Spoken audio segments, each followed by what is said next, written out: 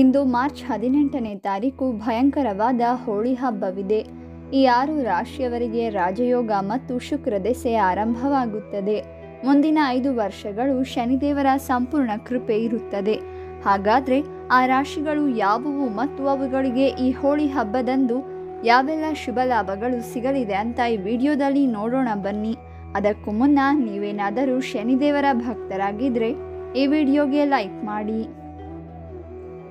ಈ ಆರು ರಾಶಿಗಳು ಇಂದು ಮುಂಜಾನೆ ಬೇಗ ಎದ್ದು ಮನೆಯನ್ನು ಸ್ವಚ್ಛಗೊಳಿಸಿ ಸ್ನಾನ ಮಾಡಿ ಮನೆದೇವರ ಪೂಜೆಯನ್ನು ಶ್ರದ್ಧಾ ಭಕ್ತಿಯಿಂದ ಮಾಡಿದ ನಂತರ ಶನಿದೇವರಿಗೆ ಪೂಜೆಯನ್ನು ಮಾಡಬೇಕು.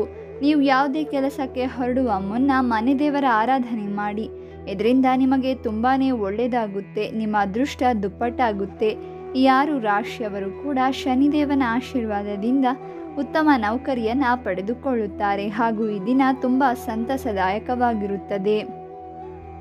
ಕೆಲಸ ಮಾಡುವ ಸ್ಥಳಗಳಲ್ಲಿ ಉತ್ತಮ ಕೆಲಸಗಾರ ಎಂದು ಪ್ರಶಂಸೆಯನ್ನು ಪಡೆಯುತ್ತೀರಾ? ಮುಂಬರುವ ದಿನಗಳಲ್ಲಿ ದೊಡ್ಡ ದೊಡ್ಡ ಸಾಧನೆಗಳನ್ನು ಮಾಡಿ ಎಲ್ಲರ ಮೆಚ್ಚುಗೆಗೆ ಪಾತ್ರರಾಗುತ್ತೀರಾ? ಸಮಾಜದಲ್ಲಿ ಉತ್ತಮ ಗೌರವ ಸ್ಥಾನಮಾನಗಳನ್ನು ಹೊಂದುತ್ತಾರೆ.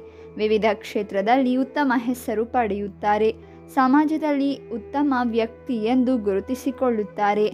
ಶಿಕ್ಷಣ ಕ್ಷೇತ್ರದಲ್ಲಿ ತುಂಬ ಗೌರವ ದೊರೆಯುತ್ತದೆ.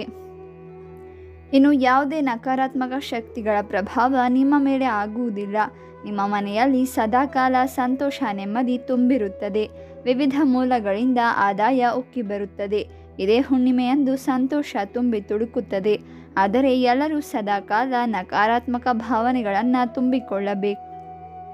ಸದಾ ಸಕಾರಾತ್ಮಕ ಭಾವನೆಗಳನ್ನು ತುಂಬಿಕೊಳ್ಳಬೇಕು.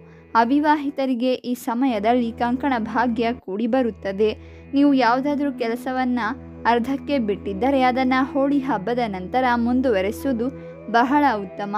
ಶನಿದೇವರು ಇದಕ್ಕೆ ಹೆಗಲೇರಿ ಕುಳಿತುಕೊಳ್ಳುತ್ತಾನೆ. ಅದೃಷ್ಟವನ್ನು ತಂದುಕೊಡುತ್ತಾನೆ.